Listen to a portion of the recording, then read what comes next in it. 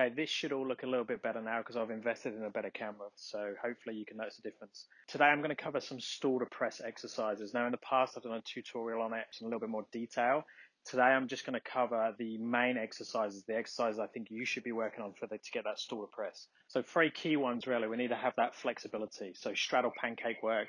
We need to get that active flexibility. We need to get that passive flexibility. So passive flexibility is just mainly going to be Jefferson curls for hamstrings and then just doing lots and lots of straddle pancake work. Active flexibility, we're going to be doing leg lifts of some sort. So we've got pike leg lifts, leg lifts where you're keeping the legs straight and you're lifting up and down and just trying to bring the hands forwards, keep the torso forwards and lifting the legs as high as possible. We've got the same version, but you bend the knees first, bring the heels in as close to you as possible, and then extend in while trying to lean the torso forwards. So anything like that where you're working active flexibility, things like um, toes to bar, inchworm, straddle inchworm. So stuff where you're compressing uh, is really good for you. We need to have a super strong freestanding handstand. So any of the work we do in the handstand strength world, we need to have that strong handstand that we can move around to different positions. And then for a to press, we need to have a straddle press to handstand already. So if you don't have a straddle press to handstand, I'd work that as a priority before you start working the to press. Obviously, the flexibility work is going to make your I make it easier to get the straddle press and it's just going to carry over to the uh, press. Okay, then we need a straddle L sit. So we can work this on the floor and just go for time. If you don't have the flexibility or the compression um, or the active flexibility to do it on the floor, you can raise your hands up onto something. You can bend your legs as well. So obviously, the higher you are, the more you can bend your legs, and then you can just lower down slowly the surface that you put your hands on, and that's going to demand more and more active flexibility and more and more straightening of the legs. So probably the number one go-to after you've worked on those components is a eccentric to press. Now, to start with, you're probably going to have to elevate the hands, um, but going as, as slow as possible and not having any gaps where you're dropping or speeding up.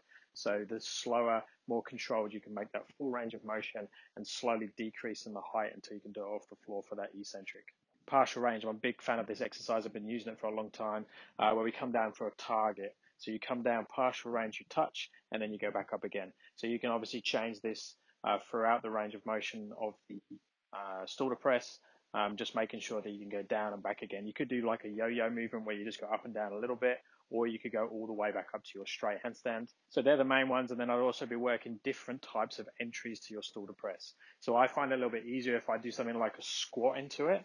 So I use a little bit of a stretch reflex, a little bit of momentum where I go in and back out again. Now, my flexibility is not great in terms of active flexibility through the hips. So my feet always want to drag or touch the floor as I come through.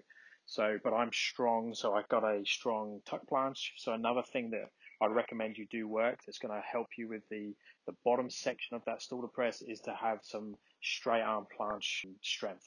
So I'd definitely be working tuck planches and things like that. So they're the main exercises that I use when I'm programming for somebody else. They're the ones that I used when I got the Stalder press. The number one thing for me was flexibility. I already had a bit of strength and I was working on things like handstand push-up, planche, skin the cat, that type of thing all at the same time while I was working towards the Stalder press. And I'm sure all of that had a carry over to help me to get the Stalder press. Um, I still need to work some active flexibility range to stop those feet touching the floor as I come through. Uh, but I can always do a Stalder press um, just because I have the strength from all the other components. So I highly recommend you work that. Any questions, stick them in the comments below. Thumbs up and subscribe would be appreciated, and I'll speak to you next time. Thanks, guys.